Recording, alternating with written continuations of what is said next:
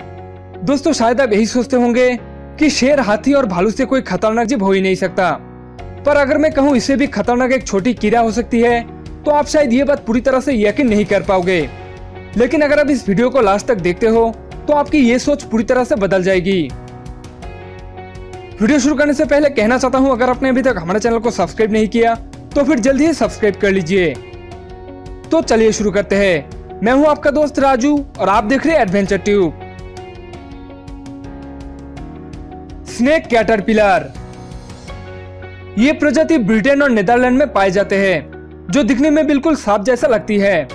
और यही कारण है कि जब भी कोई पक्षी इन्हें खाने के लिए आते हैं तो वो इसे सांप समझकर डर जाते हैं। ये कीड़ा जब पूरी तरीके से पूर्ण हो जाती है, तब ये एक तितली का आकार ले लेते हैं, जिसे एलिफेंट हॉकमॉथ के नाम से भी जाना जाते हैं।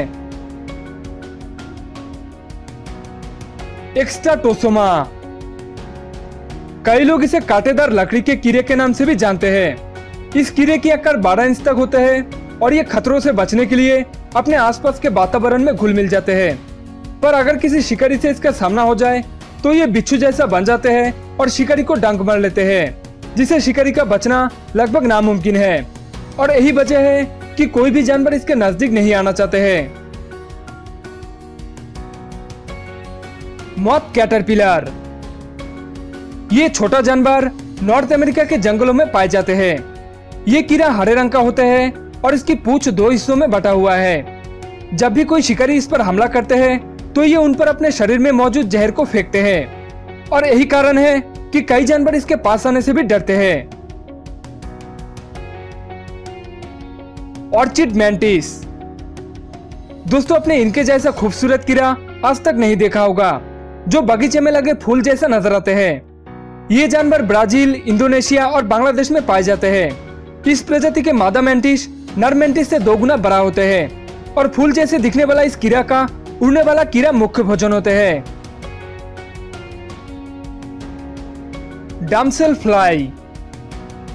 ये कीड़ा बाकी कीड़ा से बिल्कुल अलग है, क्योंकि इसके आँखें, इसके चेहरे से काफ़ी बड़ा है। दोस्तों, आपको ये जानकर हैरानी होगी कि ये कीड़ा हज़ारों साल पहले हमारे धरती पर मौजूद थे।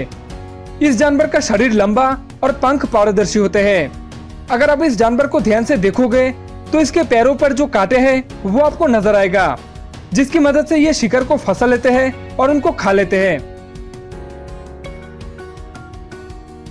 आशा करता हूँ आपको ये वीडियो पसंद आई होगी तो फिर लाइक कीजिए। और अगर आप हमारे चैनल एडवेंचर ट्यूब पे नए हैं और आप भी ऐसे ही इंटरेस्टिंग वीडियोस पे रुचि रखते हैं तो चैनल को ज़रूर सब्सक्राइब कीजिए। आज की इस वीडियो में इतना ही। फिर मिलूँगा दोस्तों एक नया वीडियो के साथ में। तब तक के लिए नमस्कार।